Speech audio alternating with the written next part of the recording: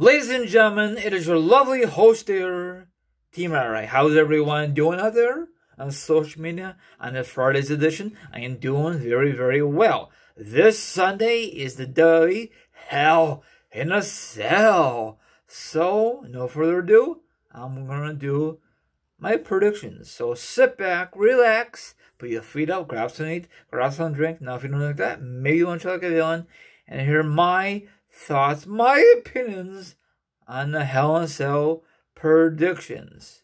There's only a few matches are confirmed from the WWE. And tonight is WWE SmackDown, SmackDown. So you know they're gonna add more matches.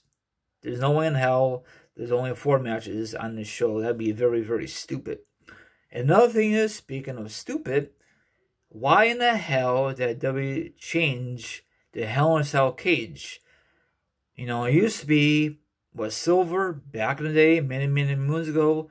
But I don't know nowhere, they turned red. It doesn't really fit it. I think they just copied off the TNA when TNA used to have a cage, not Hell in a Cell, but a cage is so stupid. Does not really fit. Fit very dumb. I really prefer um, the original, but whatever. I'm assuming the original is in the the warehouse somewhere with all the other stuff they used back in the day, all the props. So that's it. So right now, like I said before, there's only four matches are confirmed from the WWE. You know, probably there's other ones are just rumors until tonight's confirming. I don't understand why they can't make this all confirmed by time Hell in a Cell rolls around. I don't understand that. They did it last preview, uh, Clash of Champions, probably because it's all championship matches. That's why. So the first match will be the pre-show. I hate pre-show matches with the passion because no one does not take that match seriously. Jeff Hardy versus Elias. Elias just came back from injury. Right now, once again, he's healed. I'm not a big fan of Elias because he is the current era of the Honky Tonk Man, just a different version of the Honky Tonk Man. Because, you know, Honky Tonk Man always uses a guitar I don't know if he ever played it, but he just uses it as a weapon. Elias doesn't use it as a weapon. Well, he does, but not to the head, just the back. Because if they do it in a, you know, in the forward, you get an automatic concussion. So they want to make it safely, you know. So probably he's gonna. WWE wants to push Elias. So I don't give a darn if they push or not. I'm not a big fan of him. He just needs a new gimmick hands down. Just give her the instrument, you know, all that good stuff, you know. I don't know if he does the, the walking Elias thing. I don't remember. That was so lame. It's so pointless. So, I hopefully Jeff Hardy wins. But on the other hand, they want young guys to win. And Elias is way younger than Jeff Hardy. I like Jeff Hardy, but I guess he's very frustrating with the company because they had put a ring through the, the ladder last preview, so he might be done with WWE or not. It might just be a rumor. He should just retire. He's getting up there in age. He has nothing to prove. You know, that sucks. He, he never won the, the Royal Rumble. He never won the Money in Bank.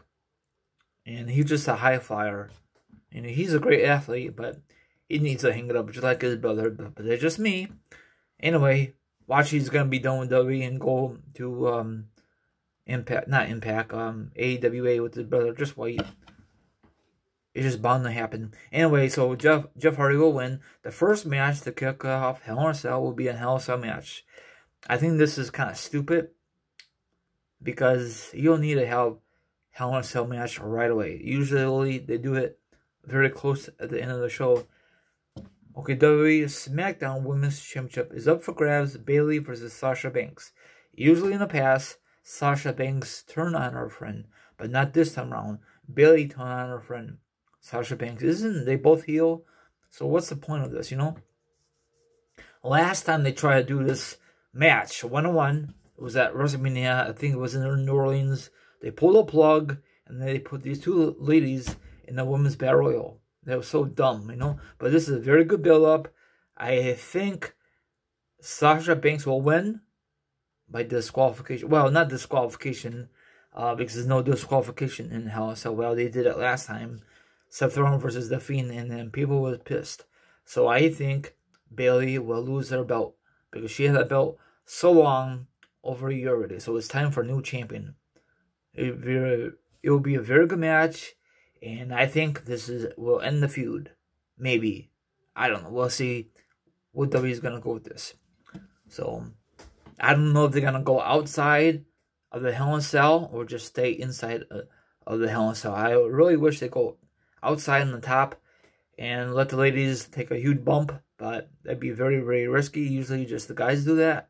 So um, that'd be a huge Hell in Cell moment if one of those ladies fall off the top of the, the cage, like Mick Foley did, Shane O'Mac, and other people did it, you know. But no ladies have ever done it.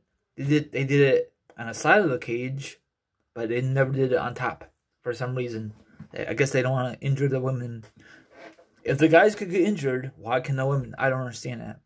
Anyway, I think Sasha Banks will win this match.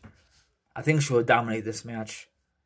We'll see what's gonna happen on Sunday. It better be a better be a better very good match. Next match, another Hell in a Cell match, but it's another stipulation, an I Quit match. It's an I Quit match slash Hell in a Cell. I think that's kind of stupid.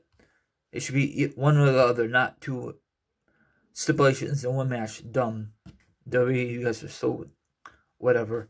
Okay, it's the WWE Universal Championship match. Once again, a rematch from Clash of Champions. Cousin versus Cousin. Roman Reigns versus uh, Jey Uso. Paul Heyman with them. You know Roman Reigns will beat the crap out of um. Uh, Roman Reigns will beat the crap out of Jey Uso, and Roman Reigns will still be your Universal Champion. He's gonna hold that belt until Mania probably. Jey Uso has no chance in hell. Sorry. Probably be some good spots. I don't if they're gonna bring in tables. This would be probably the main event. It will go the distance. So I'd be surprised if Jey Uso won, but it is not his time. So Roman Reigns will still be your Universal Champion. I like his heel run. Next match, the W Championship match. Once again, Hell in a Cell. So they're gonna have three Hell in a Cell matches. That is over killing it. They should just have two. And then the W Universal Championship, it should just be an I Quit match. You guys agree? Disagree? They did that before. I think in 2010 or 11, they had three Hell in Cell matches at Hell in Cell pay That was very stupid. Now they're doing it again. So, Drew McIntyre versus Randy Orton. This feud is going way too long. I really want to see Drew McIntyre retain his belt, but he has been retaining his belt over Randy Orton a couple times. So Randy Orton will be your new WWE champion. I know, is that sad for Randy Orton's age? I guess there's rumors going around. Drew McIntyre lose, and the next time he will get his opportunity, it'll be in front of thousands to thousands of fans. So whenever wins it again, he will get a better reaction than he did at Mania. So we'll find out. And probably Randy Orton will keep that belt until next fall, I'm assuming. It all depends how WWE want to book them. So, I really don't want to see out of nowhere John Cena versus Randy Orton. That feud was very, very boring. Especially in 08, 09. It sucked. It really did. So, I don't know what other matches they're to book. Maybe Big E will be, have a match, single match, with probably with Sheamus again. Um, I don't know. Maybe the New Day will defend their tag team belts. Who knows? You know, there's only three matches are confirmed. Sorry, four matches are for, from are confirmed. I don't know why in the hell they did not have this whole um, pay per view confirmed already. That makes no flipping sense.